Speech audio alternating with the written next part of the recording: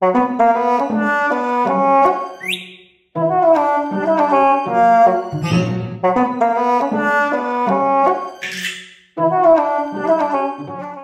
the ideas about archaeology that have been very popular for many decades are those that involve claims that voyagers from Europe or the Middle East explored North America long before the 15th century, or even before the well documented Viking explorations of Greenland and northeastern North America of about a thousand years ago. I plan to address this topic more generally in another video, but today I want to address what might seem to be the most plausible of these theories, namely, the idea that Vikings explored the interior of North America well before 1500. The reason this might seem more plausible is that we know that Scandinavians did, in fact, found settlements in Greenland and Newfoundland. So, in principle, it's possible that they also sailed farther south, or perhaps went up the St. Lawrence estuary and managed to get into the Great Lakes, although archaeologists have not found any evidence for any of that. The evidence for these claims mainly consists of inscriptions, apparently in Scandinavian runic characters, allegedly found engraved on large rocks or on stones buried in the ground in places as far inland as Oklahoma and Minnesota. The question is are these genuine and, and plausible evidence of otherwise undocumented Viking explorations, or are they fraudulent and only evidence of hoaxes? These runestones have a strong following of believers and you can find lots of YouTube videos and documentaries on the History Channel and other places that will claim that they are strong evidence for these early explorations. And these claims have had such an impact on the popular imagination that they've even influenced the naming of sports teams. Let's look at a couple of the more commonly accepted examples to assess their plausibility. If you're ever near Heavener, Oklahoma, you can visit the Heavener Runestone Park. There you can examine a large flat stone inscribed with eight characters that appear to be in the Elder Futhark Nordic script, except for one letter that's reversed and another that's in the Younger Futhark. Taken at face value, these characters might say something like Gnome Valley or perhaps Glomes Valley, which some have interpreted as a claim or boundary marker. The Elder Futhark is a script that is very old, and if this inscription is real, it would have to date to something like the 8th or 9th century, well before the famous voyage of Leif Erikson. The inscription was first reported in the early 1920s, and a local woman named Gloria Farley made it her life's work to prove the authenticity of this and other alleged evidence for early Viking activity in the North American interior. In some ways, the inscription looks pretty good. Even in the 1920s, the engraving of the letters did not look fresh, suggesting that they'd been carved at least a few decades earlier and the Elder Futhark ones are pretty accurate in their form, but there are also problems with it that make its authenticity unlikely. One is that its authenticity demands that we accept that Vikings traveled extremely long distances, either around Florida and up the Mississippi River, or through the length of the Great Lakes, and then found a way to get into the upper Mississippi Basin, at a date long before their earliest known attempts to explore the North Atlantic. But there are also problems with the inscription itself. It is not very grammatical. I guess we could attribute this to its carver's limited literacy, but if so, then it would be surprising that the letters themselves are so well formed. A more serious problem is that one letter is backwards, and the second letter comes from the younger Futhark instead of the older Futhark script, which would make it a century or so later in date. There is also no archaeological evidence in the form of artifacts, for example, in Oklahoma or nearby, nearby states like Arkansas, apart from the alleged runestones. It's far more likely that some Scandinavian immigrant who was living in or passed through the area carved the inscription as a kind of hoax. Although Scandinavians were not as numerous as immigrants from other countries in Oklahoma or neighboring Arkansas, census records do show that there were dozens of them within about a hundred miles in 1880, 1890, and 1900. Some other alleged Oklahoma runestones are even less convincing, including one that schoolboys found near Poteau in 1967 that has characters that are clearly a copy of those on the Heavener stone.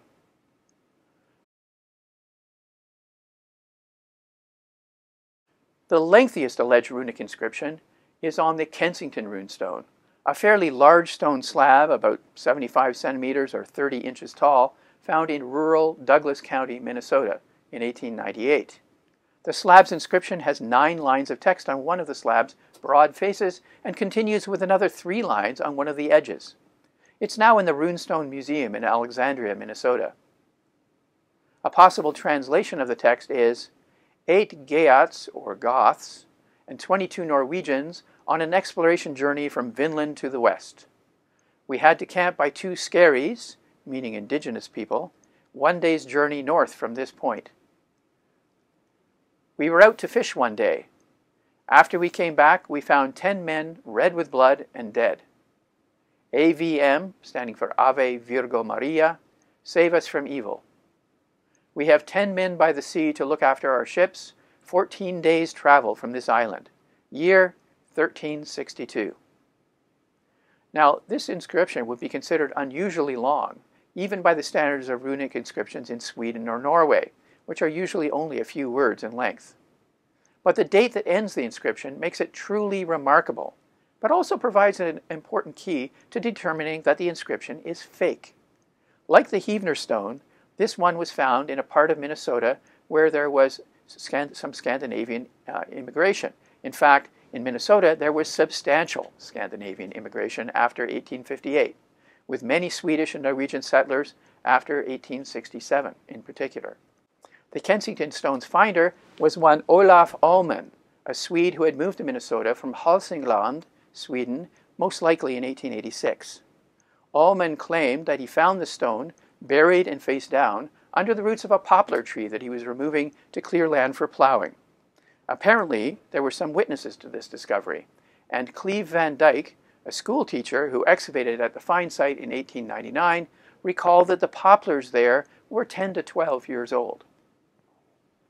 Some observers estimated their age in 1910 at 30 to 40 years, which would have made them about 18 to 28 years old in 1898. Apparently, no one counted the rings on the tree that was actually above the stone.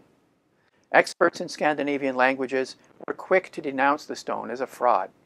In a way, the fact that it includes an explicit date, 1362, makes it a lot easier to debunk, because these experts could easily compare it to what is known of Nordic languages, spelling, and writing of the 14th century.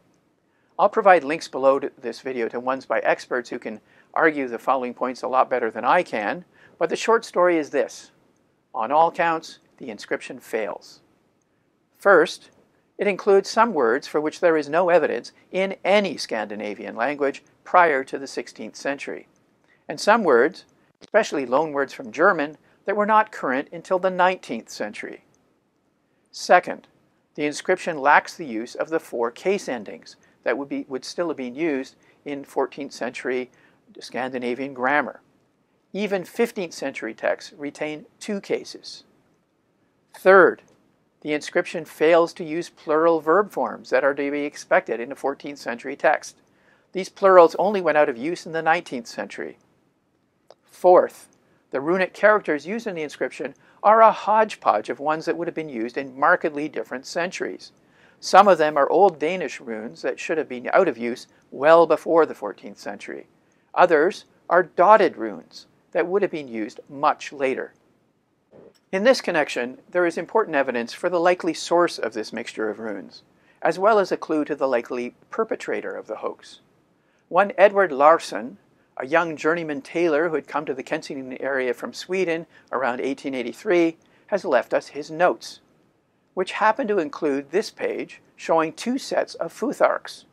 The first has 22 runes, and the second, with 27 runes, includes three that represent letters of the modern Swedish alphabet and that did not exist in the 14th century.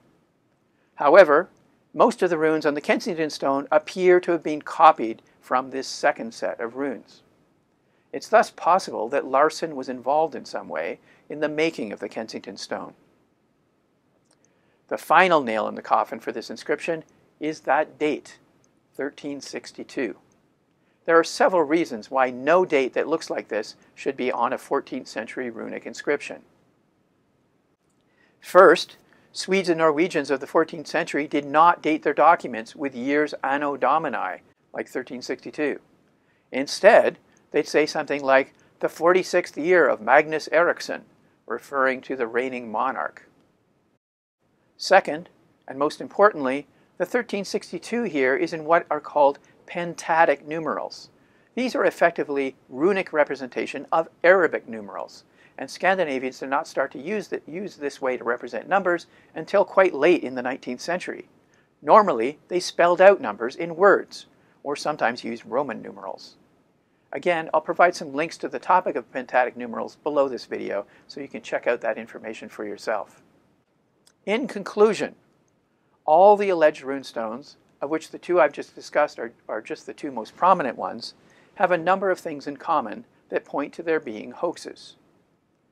First, they occur in parts of North America where we find no other evidence for Norse activity, while at the same time, places where we do have clear evidence for Scandinavian activity, such as the Arctic and northern Newfoundland, have never yielded any Viking Age inscriptions, while the runic inscriptions from Greenland aren't like these ones at all and mostly occur on objects rather than on large stones or rune stones.